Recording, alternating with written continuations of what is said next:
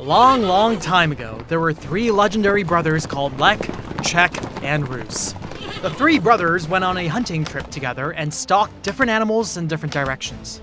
Lech went north, Czech went west, and Rus went to the east. The three brothers founded their own countries in the places that they ended up. You see where this is going, right? Different countries tell different versions of the story, but Czech started the Czech people and ended up as the Czech Republic. Rus started the Rus people and ended up as Russia. And Lech was, according to legend, the founder of Poland. They say he founded Poland here after witnessing the glorious sunset and white eagles flying around. The Polish flag today represents this very sunset. Alright, I know what you're thinking. What the hell happened to the name Lech? Lech started the Lechites, and indeed Poland used to be called Lechia because of this. In early European history, the Roman civilization was the embodiment of Christianity, and Christianity meant civilization. To be formally introduced as a player in European history pretty much meant that your country adopted Christianity. If not, well, you were a barbarian that deserved some crusading.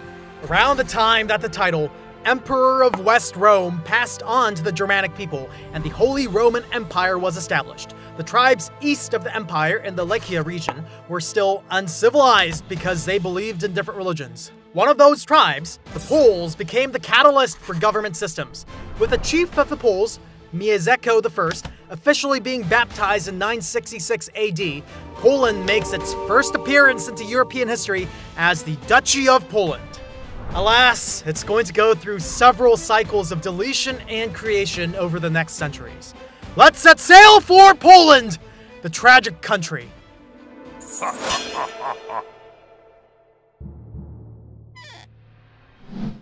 the Duchy of Poland was officially recognized as a member of the European world. Unfortunately, it was forced to immediately play tower defense against the feudal lords from the Holy Roman Empire. Meanwhile, they tenaciously conquered territory up to the Baltic coast and the Kiev regions, building the foundations for a country. Finally, Bolesław I the Brave, son of Mieszko I, elevated this humble duchy to a proper kingdom. It even started to spread Catholicism to the infidel natives in the Baltics. Unfortunately, the princes went all Game of Thrones on each other and split the country up among themselves into humble duchies once again. Divided Poland lost control of the Baltic Sea and was forced back inland, wielding the age-old casus belli of, we're saving your soul by forcing you to adopt Christianity. You know what's coming. Fucking Crusades. The Catholic knights flocked here, most of them being Germans from the Holy Roman Empire. They built up fortresses here, evicted the natives, and claimed this land for themselves. What else would Jesus do? The Polish dukes were unable to come together, you see. One of them, the duke of a region called Masovia, fucks up big time. He officially requested the help of the Teutonic Order to exterminate the Baltic natives in their front yard. Sure, the Teutonic Order gladly crusaded the, well, hell out of these native infidels, but then they just squatted here and created a new crusade country with the Livonian Brothers of the Sword. The Polish dukes didn't dare to speak up in case they pissed off the Pope. After all, the crusade country is claiming to squat here and spread the holy word of God for all eternity, and it would be heresy to disagree with this, right? They had no choice but to just let this German country pop up in the north. I hope you're getting bad vibes already. Poland finally got their shit together in the 13th century, settling their differences and uniting. If you watch this channel, the 13th century should give you very bad vibes. Here comes the unprecedented day of judgment, the Mongol Stampede. In 1206, the Mongol Empire eviscerated Central Asia and pressed the attack to invade the Rus tribes. The proud Kiev Duchy was trampled into the ground, the traumatized survivors fleeing into the Kingdom of Hungary, and the end of the world by the hands of the demonic horsemen was imminent. The Mongol forces finally arrived at the Carpathian Mountains in 1241, and you bet that Poland, Hungary, and the Holy Roman Empire were pissing their pants in absolute terror. the Mongolian army wanted to stabilize its flank before properly invading Hungary. Well, that meant that Poland was fucked. The capital, Krakow, was overrun instantly, and Warsaw also died soon after. The Mongols invaded deep, all the way into the Silesia region before the Polish duchies finally understood the severity of their situation. Their entire civilization could literally be deleted here. Time to fight. Everybody knew that Poland was just the beginning. Hungary, and even the Teutonic Order put aside their puny differences and sent reinforcements. In Legnica, Silesia, the desperate last stand for survival against the Mongol hordes ignited. But the Mongols were just too strong. Over 10,000 soldiers were snapped out of existence, along with the Duke of Silesia, Henrik II. There was nothing left to unite over. The Mongolian horde, thankfully, went away on their own because of their own internal conflicts without directly ruling Poland. But this wasn't the end of their struggles by any means. The Mongols kept sending wave after wave of invaders, and the opportunistic Teutonic Order backstabbed and attacked once more now that the imminent Mongol threat was over. It was pretty much anarchy. The local nobility warlords greedily extracted every pound of flesh from their peasants, while Silesia was annexed by Bohemia. A unified Poland was completely out of the question until the Mongols finally fucked off for good in 1287. In 1333, Casimir III the Great rose to the throne, united the divided duchies, crippled the power of the nobility warlords, and enacted several revolutionary policies to rebuild his country from the rubble. There was a good reason why Casimir III the Great was called the Great. He was an absolute beast at diplomacy. He conquered Galicia, a part of the fallen Kiev Duchy, and donated the Silesia region to Bohemia as a practical diplomat. I mean, Bohemia was going to take it regardless, so might as well salvage some cookie points, right? The real problem was the backstabbing fuckers of the Teutonic Order. Casimir buddy buddies up with the Grand Duchy of Lithuania to make them think twice before they pull some chicanery. You see, the Grand Duchy of Lithuania was a country founded by Baltic natives, and they didn't believe in any of that Christianity nonsense yet. The Teutonic Order was moralizing and shoving them around for being infidels, and so, the enemy of my enemy is my friend. Do you see how difficult of a situation Poland is in right now? They have to keep up the appearance of being devout Catholics to stay in the favor of the Holy Roman Empire before they send in another crusade, but their best friend is also a staunch infidel. Poland takes the masterful middle road and sends in missionaries to Lithuania to make a half-assed attempt to spread the holy gospel of God. Meanwhile, Poland also donates half of the recently conquered Galicia region to not antagonize the infidels. Alas, no king rules forever, and the stability he built died with Casimir III the Great. Casimir had no son. The next in line to rule Poland was his niece called Jadwiga. Yeah, Jadwiga was female, which was a big no-no at the time. But most importantly, she was only 12 years old. Poland just barely climbed out of the abyss of the recycling bin, but it looked like they were about to get banished into clusterfuck territory yet again. In this time of great crisis, Lithuania pulls the ultimate bro move and repays its debt by becoming the knight in shining armor. You see, they're both scared shitless of the Teutonic Order and its dreadful purge infidels move. Lithuania suggests to just merge kingdoms. Poland accepts on the condition that Lithuania officially converts to Catholicism. Lithuania says whatever, and in 1386, the Grand Duke of Lithuania, Jogaila, marries Queen Jadwiga. Poland teamed up with Lithuania, now stronger than ever, and decides to finally kick the shit out of the cancerous Teutonic Order once and for all. On July 15th of 1410, they throw everything they have to get out under the thumb of these religious scourges in an epic showdown at the Battle of Grunwald. The Teutonic Order was finally defeated. The moment of glory for Poland is finally approaching. This is what all its struggles were for. The Polish-Lithuanian alliance recruited other Christian nations to hold the line against the growing threat of the Ottoman Empire. They also, ironically, forged an alliance with the Mongolian Golden Horde to give Russia a satisfying kick in the nuts. Poland was the new sheriff in town, and of course, they took this opportunity to grief the neighboring noob countries just because they could. With this newfound power, you know that they just had to act on their centuries of resentment against the Teutonic Order. Poland punched them so hard that the Teutonic Order got annexed into Poland. Russia is obviously now in 2022, a country that doesn't easily turn the other cheek. You should check out our video on the history of Russia to fully understand why Russia is so aggressive. A monstrously resentful Russia attacked Lithuania in 1487, and Lithuania was about to just completely die by the mid 1500s. Poland and Lithuania decided to completely merge governments in 1569 with the Union of Lublin to stay alive. Born again as the mighty Polish Lithuanian Commonwealth, They were the rising superpower in East Europe.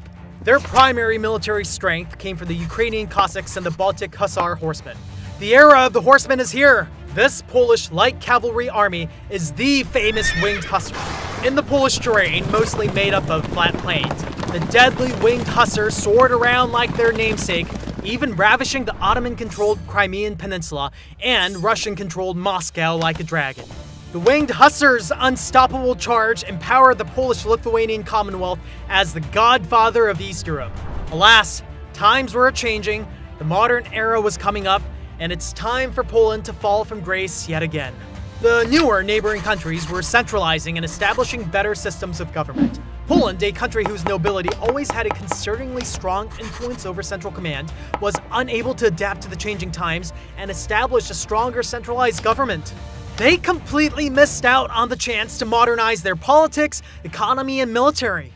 The advance of gunpowder meant that the winged hussars started to get shot out of the sky more and more, and the antiquated system of serfdom meant that the still medieval Poland produced less stuff compared to other countries. The Teutonic Order, don't forget about them, evolved into the Duchy of Prussia and was just waiting for the opportunity to declare independence and get out.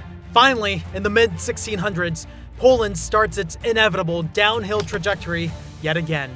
You see, the Ukrainian Cossacks rebelled against the Polish nobility's oppression and excessive taxation. Russia, still grinding its axe that never forgets, couldn't resist but to take this cheap shot. To make matters worse, even Sweden invaded from the north. The double-edged sword of the Polish plains, oh so convenient when Poland had an unstoppable light cavalry, also meant that Poland had no way to defend itself when shit hit the fan and everybody turned hostile. Because enemies were pouring in from every single direction, Polish history refers to this period of time as the Deluge or Giant Flood. Polish strategic strongholds were all overrun, and even the once subdued Teutonic Order, now Prussia, successfully went rogue and declared independence. The proud Polish-Lithuanian Commonwealth that was on top of the world was now forced back into its tiny box of an anxious, brittle nation. The Polish military was, well, very sad about this whole situation. It was ganged up on by Prussia, Austria, Russia, and the Ottoman Empire, and pretty much died. Treated only as a pitiful buffer zone, the neighboring countries were more than happy to make Poland eat all the collateral damage. In the mid 1700s, Russia punched the lights out of Sweden and ripped away the Baltic Sea. Russia was now also winning the slugfest against the Ottoman Empire, cheerfully gobbling up the Balkans. Things look really dire right now in East Europe, and it's clear that Austria is next. Prussia is really starting to panic. Coincidentally, an anti-Russian revolt erupted in Poland, and Prussia enacts this masterwork of diplomacy to feast on their sorrow. Prussia tells Russia, alright, look here, you might as well just fucking invade Poland because of this incident. And Russia loves that idea. Austria will also chip in and rob Poland of the southern regions, while Prussia would just claim some leftover territory.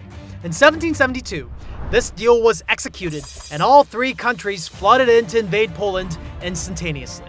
This is the first partition of Poland. Poland's capital was already overrun, so Poland had no choice but to just let it happen. The Polish-Lithuanian Commonwealth feel it in their bones that their entire existence is about to get deleted.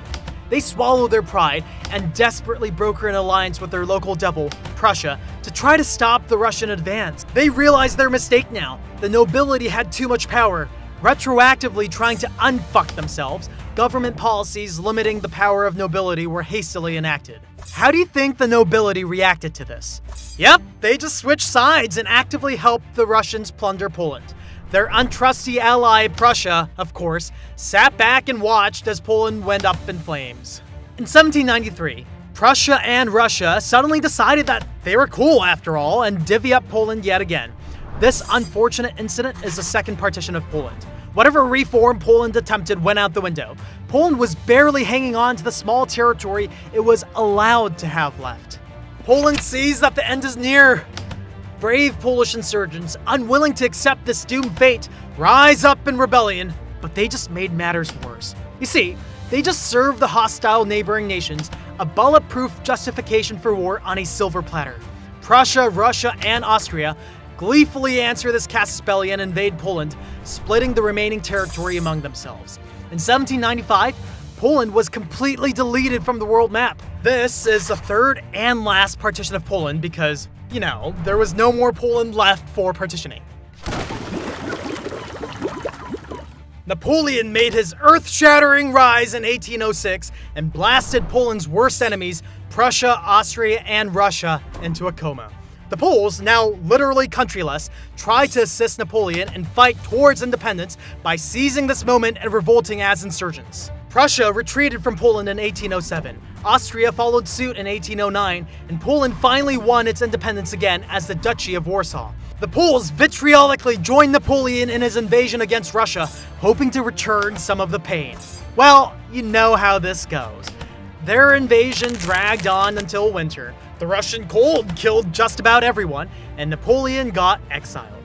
The Congress of Vienna, a meeting meant to discuss how do we fuck France, also decided to delete the Duchy of Warsaw again out of spite.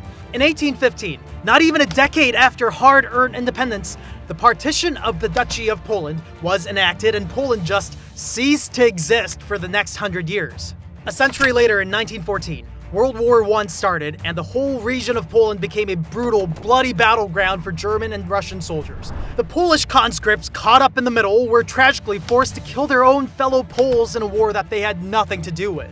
With Germany's surrender in 1918, Poland finally won independence yet again after 123 years. You know what happens next, right? Hitler of Nazi Germany wanted to attack France, and Stalin of the Soviet Union wanted to not have a war with Germany again. The two countries came to the compromise of let's invade Poland together as a term for their non aggression pact. In 1939, Nazi Germany and the Soviet Union invaded Poland in unison, and Poland was deleted from existence yet again. In the aftermath of World War II, the Soviet Union forced Poland to adopt communism. Born again as the Polish People's Republic, Poland spent most of the remainder of the 20th century as a satellite country for the Soviet Union. 21st century Poland, a war torn country with a history of casually being erased from existence, is determined to not let that happen again. They understandably don't take any half measures with their military spending. Poland is now a proud country of the First World and preparing against Russian aggression, almost as if they know what it's like to lose a country. Multiple times. As of October of 2022, Poland is one of Ukraine's biggest supporters in its war against Russia. Not only have they welcomed millions of Ukrainian refugees, they're doing everything possible to supply Ukraine with weapons and logistics it so desperately needs.